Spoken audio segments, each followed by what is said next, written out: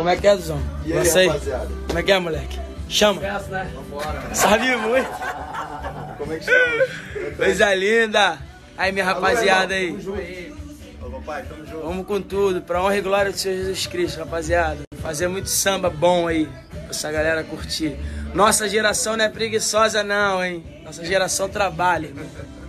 Ajudou Alguém. Se você ajudou, ótimo, que Deus te abençoe E que você gente- continue ajudando e muito. a gente não te conhecia antes e foi um prazer te conhecer, porque pela sua luta, ó, meus parabéns do fundo do meu coração.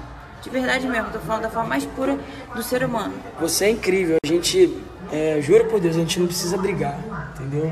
Não, não me confunda, por favor. Não, não monte uma imagem é, negativa de uma pessoa que você ainda não teve a oportunidade de conhecer pessoalmente.